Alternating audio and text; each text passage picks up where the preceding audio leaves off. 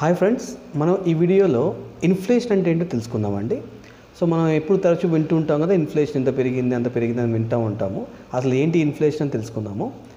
So inflation అంటే వస్తువు ఒక ధరలు పెరగడాన్ని ఇన్ఫ్లేషన్ అంటారండి.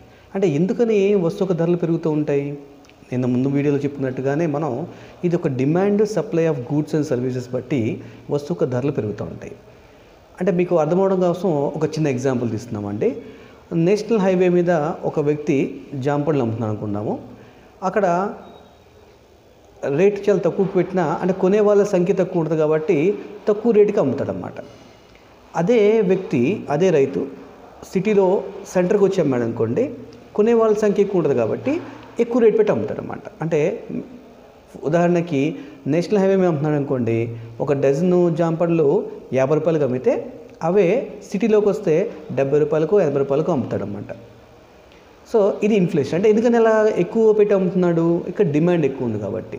అంటే సహజ సహజంగానే ఇక్కడ ఎకానమీలో కనుక వస్తువు కానీ ఆ ఒక సేవని ఎక్కువ మంది వినియోగించుకునే ఉన్నారనుకోండి అయితే గూడ్స్ కానీ సర్వీసులు కానీ ఎక్కువ మంది రెడీగా ఉన్నారు అవైల్ చేసుకోవడం కోసం కొనుక్కోవడానికి. అప్పుడు ఏమవుతుందంటే వస్తువు యొక్క ధరలు పెరుగుతూ ఉంటాయి అన్నమాట సో సాధారణంగా ఇలా ఇన్ఫ్లేషన్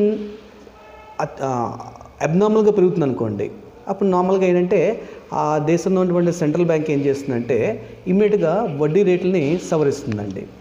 అంటే ఇన్ఫ్లేషన్ కనుక పెరుగుతూ ఉందనుకోండి వడ్డీ రేట్ని పెంచుతుందండి. దానివల్ల ఏమవుతుంది? బ్యాంకులో కనుక మనం డిపాజిట్ వేసుకుంటే మనకి ఎక్కువ శాతం వడ్డీ వస్తుందని చెప్పేసి కొంతమంది కొనడం తగ్గించి బ్యాంకులో డబ్బులు దాచుకుంటారు.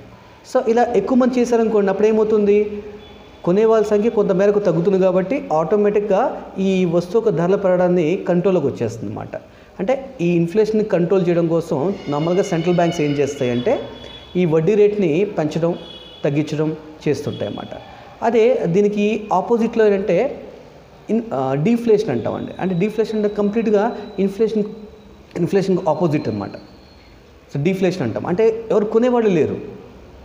నార్మల్గా ఆర్థిక మాన్యం జరిగినప్పుడు ఆర్థిక మాన్యంలో ఉన్నప్పుడు వస్తువులు కానీ సర్వీసులు కానీ కొనే వాళ్ళ సంఖ్య చాలా తక్కువ మంది ఉంటుంది అన్నమాట అప్పుడు దీన్ని డిఫ్లేషన్ అంటారు. అప్పుడు ఏమవుతుంది? సెంట్రల్ బ్యాంక్స్ ఏం చేస్తాయంటే వడ్డీ రేటుని తగ్గిస్తాయి.